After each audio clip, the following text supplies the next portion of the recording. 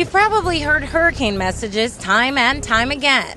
But as the season starts, we wanted to remind the public it's better to be safe than sorry. We sat down with local experts to find out the latest predictions and preparations. The Colorado State University team, Professor Gray and his team, have predicted a slightly above average season.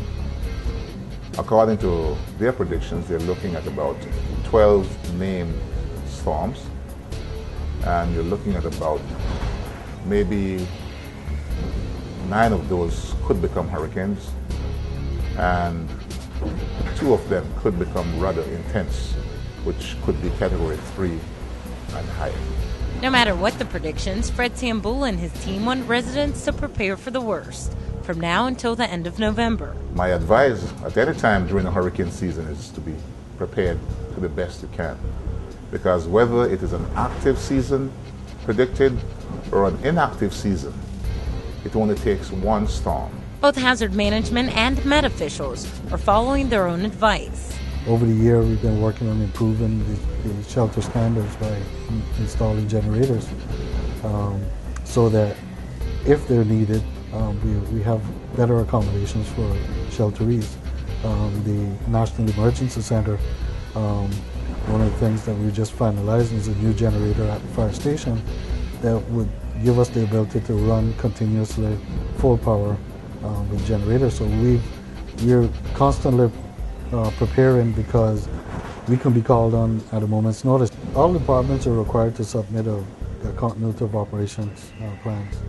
And we held an exercise a couple of weeks ago uh, to help them with um, preparing their continuity of operation plans. It would be nice to get them in before the start of the season, but um, if they're still having uh, issues that they have to work out, uh, we'd rather that they work through those and get everything sorted out, even if it's after the beginning of the season. Um, the important thing is to get it done. And that goes for residents, is to get a family plan. Um, get your own, own plan in place um, so that if you're affected by a hurricane, um, you will have a plan, your family will know what to do, you'll know what to do, and things will go a lot smoother. For us at the Met Office, before the hurricane season, we are actually preparing for the hurricane season. We do that in terms of um, things like additional training and development. This is off season is a time when people attend conferences, we attend workshops. As a matter of fact, you attend things like the Tropical Cyclone Conference of the American Meteorological Society. And NOAA works closely with weather services in the Caribbean. So we update our skills during that time. We look at research, and forecasters are therefore continuously honing their skills in the art of forecasting and tracking hurricanes. Uh, in the Cayman Islands, we have a reasonably good weather service. We have weather forecasters who have attended hurricane workshops at the Hurricane Center in Miami. We have those who have attended what we refer to as the Tropical Desk in Washington, D.C. Uh, so we have a fully tra trained staff, and we have some of the better equipment in terms of satellite tracking. That service is being upgraded. We are now in the process of implementing a weather radar project.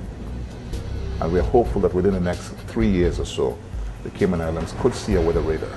The difference between a radar and a satellite is that the satellite can only show you certain features at certain times. They don't transmit continuously. A radar, on the other hand, while it does not view globally like the satellite does, once the system gets within three or so hundred miles from your coast. It gets on your radar and you can actually see what the system is doing, how big it is, the type of convection, the strength of the winds, the type of rainfall, and its direction of motion, and you are seeing this continuously.